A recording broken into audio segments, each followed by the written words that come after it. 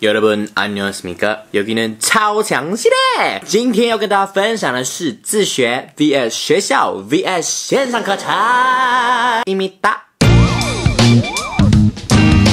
以韩文为例，我个人呢就用过了三种方式来学习啊。那这三种呢，分别中间都隔了一大段时间，所以呢，基本上就是我学了又忘了，学了又忘了，然后再学。从一开始我自己买书，自己在网络上找资源，到我还在上大学的时候选修了一堂韩文初阶的通识课，以及我最近才开始使用的线上课程。今天就要来分析一下三者之间的优点跟缺点，还有。G 点，我的我 G 点的意思就是 good good 的点，G 点，嘿嘿，我是这个意思。So so so ですね。そうだなるほど。那学习成效。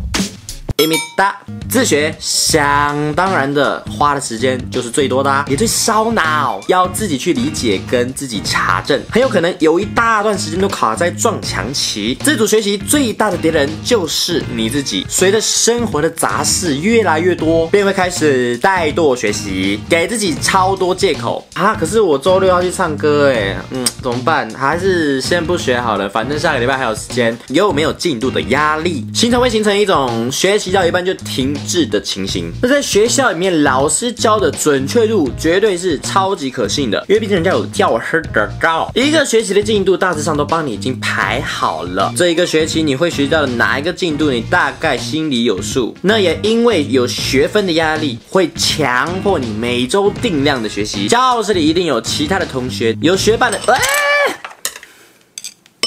有学伴就有动力，彼此督促。就像我去健身房，一定要有人陪，不然我真的是超级懒惰，甚至会有竞争的心态。而且在课堂之中，当有人提出问题时，也许解答的时候就能顺便解惑，肯定你放在心里很久的一个疑问。因为是一对多的学习，一堂课没来，可能就会导致下一堂课完全听不懂。还有就是，如果当你自己的进度超前的时候，你觉得这些我都已经会啦，哎，老师你干嘛继续讲？I'm sorry。对不起，我骗了你。觉得烟草不来自后山，嗯嗯。当你进入超前的时候，却要跟着大家的进度一起走，这时候你就会觉得超无聊、超浪费时间。但是呢，你还是必须要来上课，为什么呢？因为有学分呀。弱或者你跟不上的时候，落后太多，甚至会想要放弃。数位线上课程，我这个月使用的是 Jella，我已经使用它已经一个月的时间了。购买一套课程就可以无限观看影音教材的课程，有规划好的进度，有韩。国籍的老师授课，想当然，内容的准确度呢，绝对是超级当地的啊。由于是影音教材，有一些你听不清楚的地方，你可以要再再看，放慢再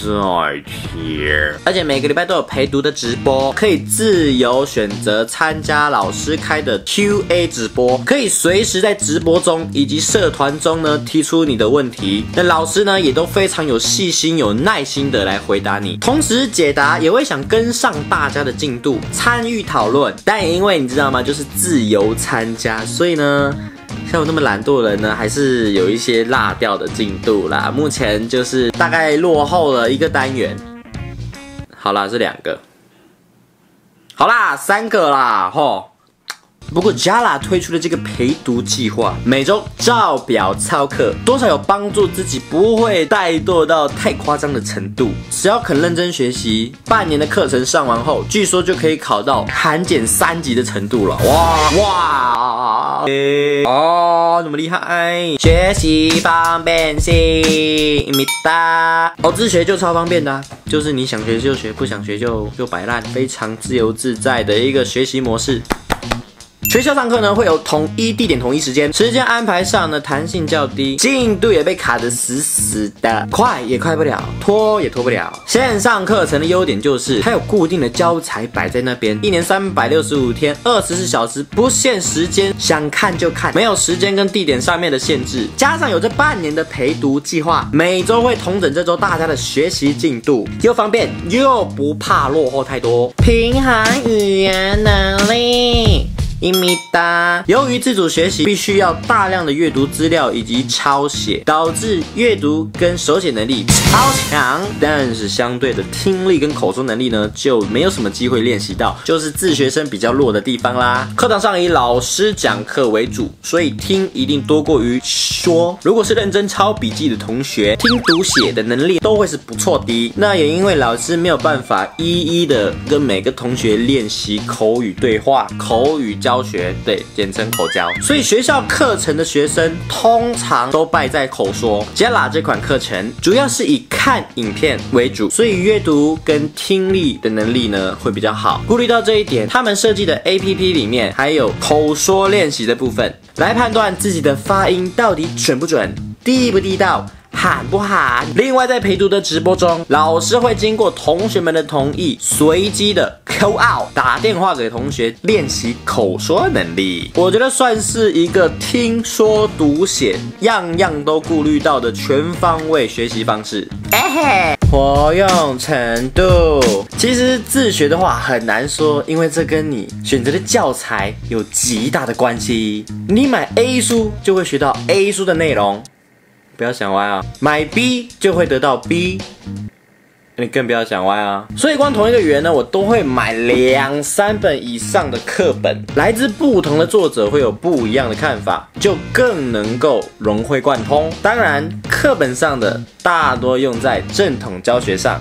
考试上，所以叫制式叫正规，很难学习到真正当地人说话的方式。学校里教的呢，也是差不多，只差在有一位老师会告诉你当地人是怎么发音的，是怎么讲的，但是依然还是以考试为目的。学习到的韩文很扎实，但是。当地人不一定会这么讲。在 Jella 的课程中，老师同一句话从最标准介绍到最精简、最当地、最口语的表达方式，甚至有一些看似好像很正常的字，却在现今的韩国社会已经被用烂了，常常代表一些负面的词汇或是单字的念法。我看完 Jella 之后，我才发现原来有好多的单字念法都是例外中的例外。如果按照原本的拼法去发音的话，当地人反而听不懂你在讲什么。这些东西学起来就敢敢跟韩国人交朋友啦。讲的越口语化，他们越会觉得哇，这个人真的好友善呐。哎，刷你咪哒！自学的费用 range 实在是太大了，少可以免费的上 YouTube 看影片学习，多。可以甚至买一张机票飞到韩国住一阵子，你连书都不用买哦，但是你却可以讲出超级道地正统的韩文。学校课程呢，因为我是上大学的时候去的，我那时候就是直接选修，所以其实也不用付多余的钱，那场课程的费用都已经算在我的学费里面了，所以其实我不需要额外的再出任何钱，顶多就是买一本跟着大家进度走的课本。Jella 的线上课程比起外面的补习班真的是划算。我现在学的是。哥教教的是语感进阶韩文系列，它跟外面补习班不一样的点就是，它将好几家的课本融合成一个内容，一次教。Q 啊，融合成一个内容，一次交给你，相较起来 CP 值超高。我总归一句话，我觉得呢，不论今天你要花多少钱在上面，不论你是买书也好，买课程也好，甚至是外面上补习班也好，都是对于自己的一种投资。这些钱花出去的，你得到的是知识，知识就是力量，knowledge is power，一米的。当这些东西你真的吸收进去的时候，我觉得它都是无价的。讲的太有深度了。今年二零二零年，我给自己立下的一个目标呢，就是我。今年我要透过 Jalla 这个线上课程，把自己的韩文练到超级厉害。希望有朝一日我到韩国旅游的时候，我不用靠英文，我不用靠中文，我就可以沟通。然后到时候我用泰文沟通。耶，是的，想了解我更多的韩文学习法，都持续关注我的 YouTube 频道，打开小铃铛，不要忘记 follow 我的 Instagram。我会在这半年的期间发一些我在 Jella 这个课程上面学习到的一些课本上学不到的小知识，那请大家就敬请期待啦。不论是自学也好，在学校里面学也好，或者是使用线上课程，找到一个适合自己的学习方式，绝对是一个非常重要的事情。我们下一集再见喽，拜拜，안녕히계세 요。 แล้ว โอเคบายบาย